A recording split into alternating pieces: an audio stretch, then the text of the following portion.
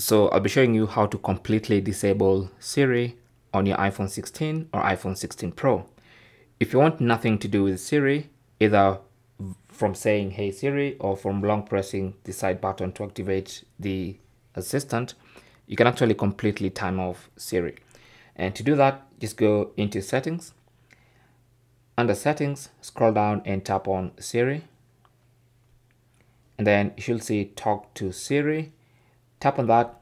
And then first of all, you want to disable the voice prompt for Siri. And then also disable press side button for Siri. So just completely disable that. It's going to ask you if you want to turn off Siri.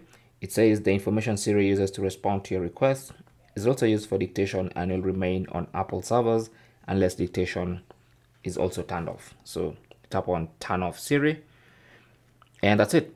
Once you disable this and then set this to off, you have completely disabled Siri on your iPhone 16 or iPhone 16 Pro.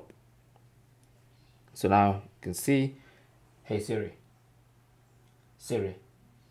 And even if you long press on the side button, all it does is ask us to turn on Siri, but Siri for now is completely disabled.